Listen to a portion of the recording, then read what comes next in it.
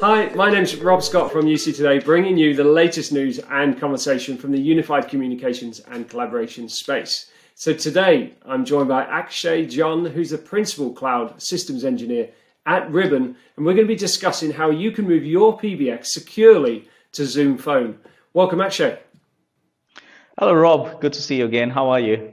Yeah, really good, really good. Well, better now. We're kind of you know towards the the end of this uh, kind of lockdown period here in the UK, but um, yeah, certainly good to see you again. So we've got an interesting session lined up, haven't we? So um, before we get started, however, how about um, we just do a quick intro, actually? Just tell us a little bit about what you do and uh, who Ribbon are.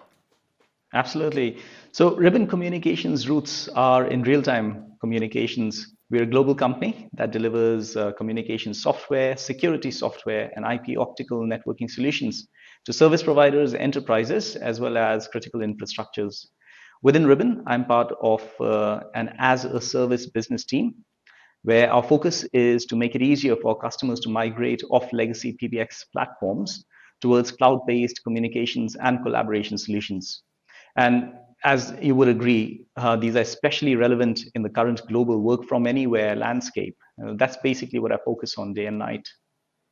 Well, you must be a busy man, actually, because uh, it seems like everyone's migrating off the PBX or trying to connect the PBX to the cloud at the moment in some way.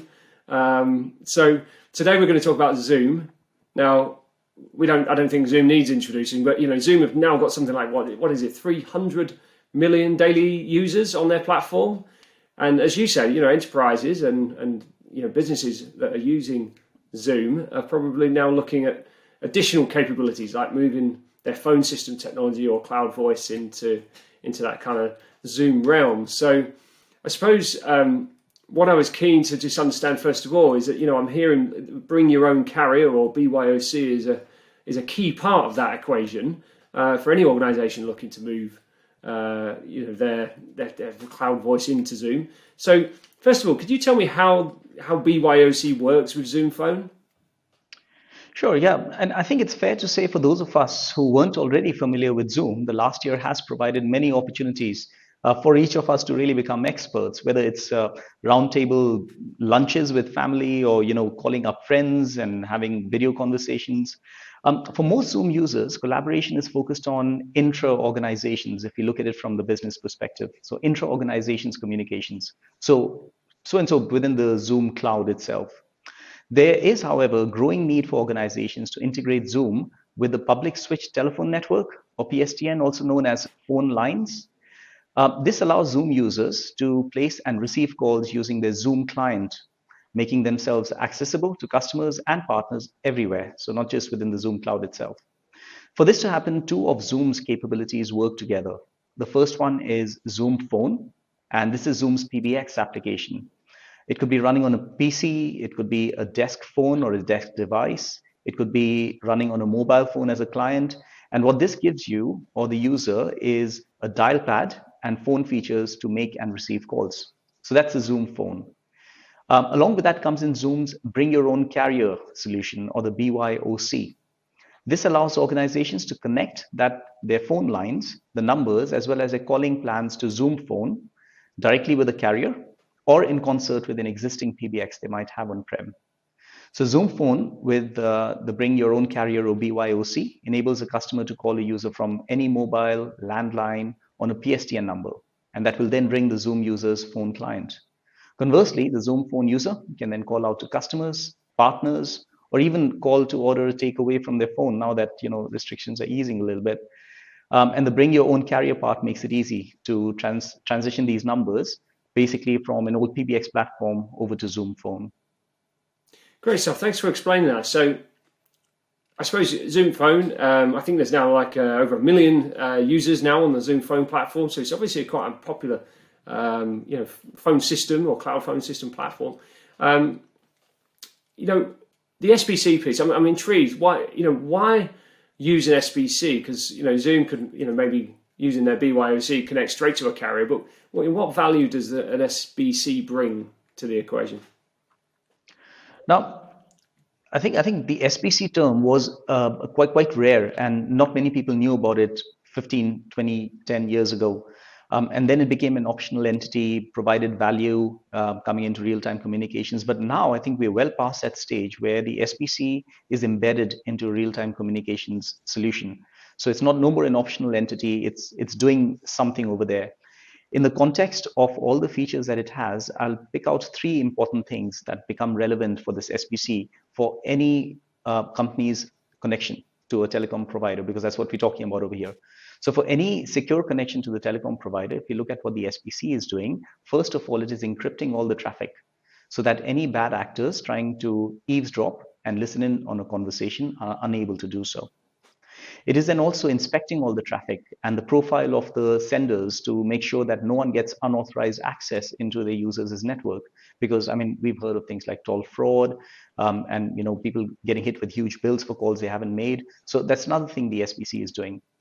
Uh, and then specifically in the in the whole scheme of things of interoperability, as I mentioned earlier on, Zoom Phone and the Bring Bring Your Own Carrier work uh, in tandem to break out either through um, a, an existing PBX or directly over to the carrier. Now that brings with it some complexities that have to do with interoperability between carriers and between the Zoom uh, side of things. So the SBC has those tuning controls, whether it's tweaking your signaling, whether it's tweaking the media part of it, getting rid of parameters, hiding information, adding information. So they, it will have those tuning controls to make this interoperability part easier as well.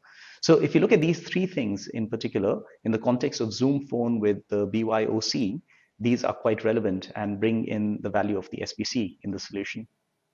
Great. And when it comes to the, you know, the use cases, you know, what are the, the deployment options here that are most common?